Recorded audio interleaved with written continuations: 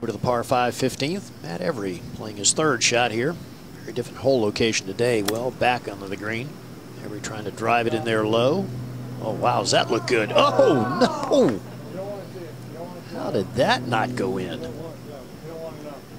you can hear Billy Horschel say, You don't want to know. His playing competitor, you don't want to know how that didn't go in